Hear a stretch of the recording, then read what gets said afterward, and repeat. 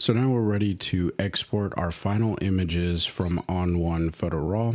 So what I'm going to do is click the first photo, hold down the command key and hit A to select all of my photos. And then what I'm going to do is come over here to the right side. So I am the author of these photos. When I negotiated the contract, I made sure that I retained all of the rights to the photos, to anything that I photographed here, but I was just delivering uh, final edits that they can use for their social media and future promotion of the bike race. Now, in the description box, I'm just going to type in a short description and you can put whatever you want in the description box. For me, whenever I photograph for a client, I usually like to put a description in there because that helps them with their metadata on the back end as well as keywords. Now, these were the agreed upon keywords when I went ahead and photographed this. They're going to add more keywords for their marketing team and however they choose to do that. But for me, I just needed to add in those uh, keywords that I needed.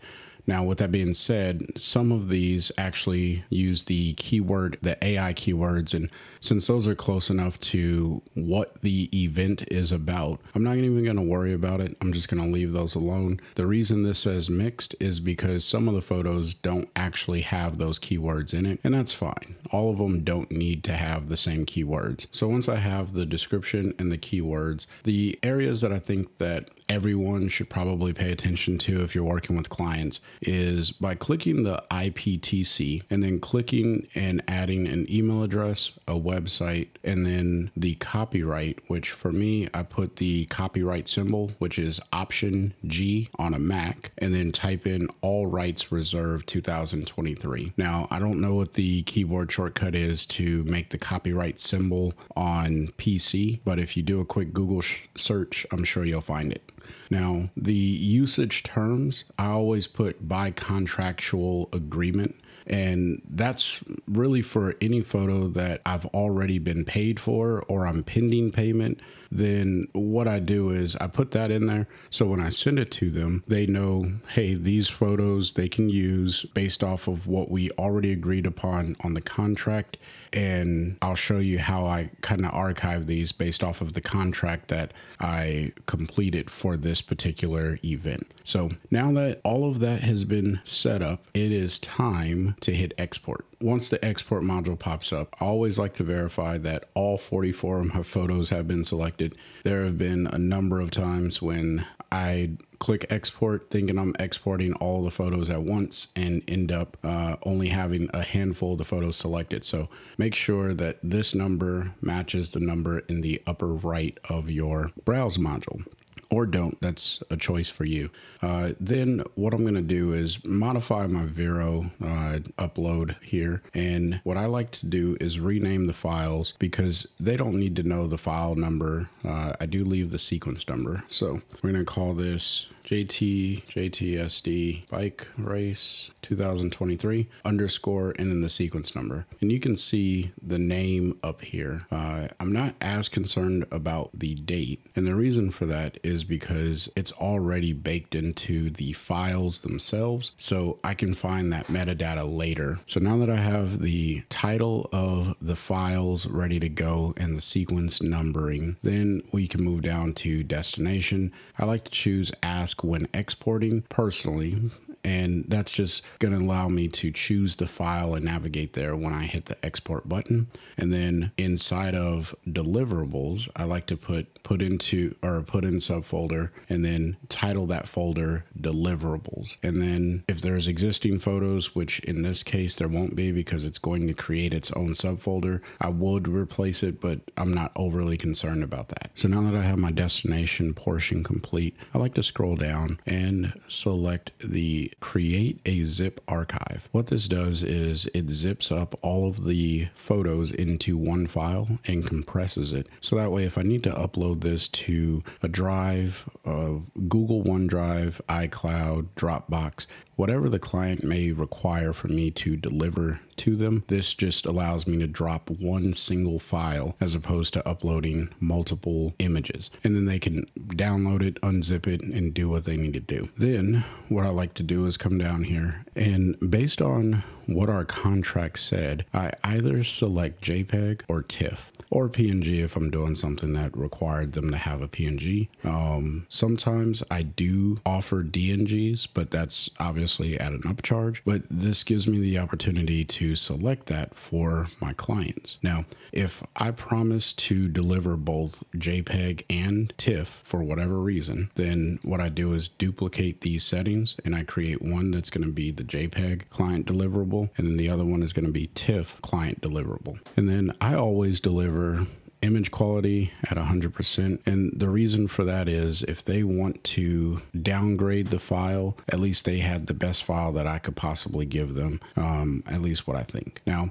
I don't mess around with resize sharpening, but I do check the metadata option. We're going to go ahead and expand that. And the reason I check the metadata option is because I want them to have the keywords, description, and then the IPTC contact, as well as the copyright info because that's what we filled in over here on the right side. So we filled in the contact and we also filled in the copyright. That's going to bake all of that information into the photo. Now, I have no problem with them knowing what I shot this with. So if I, you know, I'll click camera info as well. So that way they have the camera, the lens, the focal length, the shutter speed, all of that stuff. And, you know, I know a lot of photographers that I've talked to in the past, they've said that they never want to give the camera info to a client because then they feel like the client's going to be able to mimic what they do. And, you know, I'm.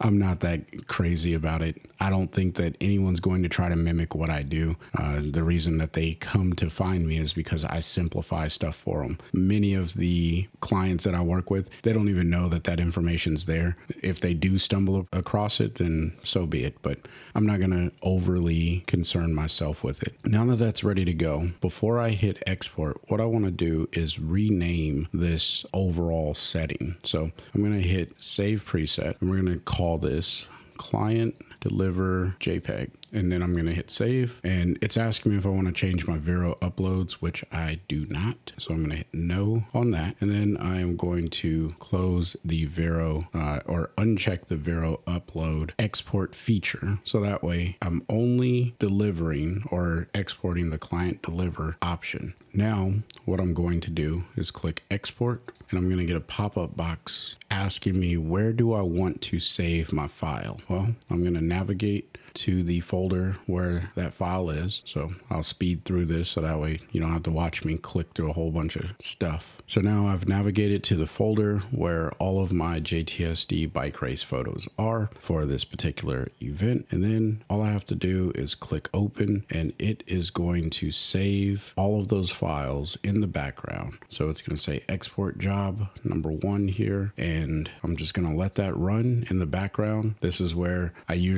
go and do some of the, uh, the requirements of just managing a business, right? And working with clients where maybe drafting the email that I'm going to send to them with their information on it, uh, or going and verifying that I received payment if that was agreed upon in the contract that I would receive the payment um, between the time of me photographing the event and before I deliver the final images, because then I may have to send them a note like, hey man, I haven't received the initial payment that I was supposed to get for my deposit. And then however that works. But that's all business stuff. I want to stick to the workflow, but this is that is a part of my my workflow overall because while this is exporting, there's really nothing that I care to do inside of ON1, mostly because I don't want to cause any issues with the exported files. So I just let this be. I'm going to fast forward through this so that way you can just see what it looks like once it's all said and done. Here is the folder where all of the final images are now residing. As you can see, it's given me the photo as well as the on photo um, XML file. Now, this is important because there is metadata in there, um, but I don't deliver this particular item to my client. So what I'm going to do is right click and we're going to go clean up by kind. So now I have all of those metadata files down here at the bottom because if I right click and click get info. And if I go to more info, you'll see that all of that information is already in the JPEG file. So I don't need that information anywhere else other than right here. So uh, that's the reason why I don't need these particular files. So what I'm going to do is select all of those, hit command and delete, and then I'm also going to hit command and delete on all of these. So now that I have all 44 of the images right here, what I'm going to do is right click and I'm going to click on compress and it's going to combine all of these into another zip file. So the zip file that I had before, if I needed to provide the XML file, if I ever negotiated for it, then I have that record ready to go. But if not, then I just use the version that I'm zipping together right now, which is going to be just the JPEG photos. So when I deliver this, they'll unzip it and have their photos. And that's really all most of the clients that I deal with really care about. Now, when I start dealing with uh, bigger clients and people that have editors, maybe I'll concern myself with delivering the uh, the meta files or I'm sorry, the XML files. But I'm just going to click here and JTSD, oh, JTSD bike race 2023 final edits. And so now I have a deliverable document that I can give to my client and they'll go on about their day. And then I also have this document here, which I do need to rename. So now I have two files. This is, I have my JTSD archive file with all of my metadata and XML files inside of it. And then I have my JTSD bike race file with all of my photos inside of it. This is what I would deliver to the client, and this is what I would put into my archive. So later on down the line, if a client comes back to me and they say, hey, here's what I need uh, you to look into, one, I have my XML file that tells me the file name, which is really important because I leave the original file name associated with the with the photo. Uh, if you look here, pull this over for a second. The original file name is in that XML file. So I can always recall whichever photo that they reference. So they tell me the sequence number. They say, I need sequence number 25. I know that this is number 25. I go find that inside of this archive and then I open it up. It'll tell me the file name on that XML folder. And then or I'm sorry, on the XML file. And then I just come over here and I now know how, which photo I need to make tweaks to. So now it's time to move on to the final video of the series, which is the archiving process of all of the images, as well as the contracts and everything else that goes along with it.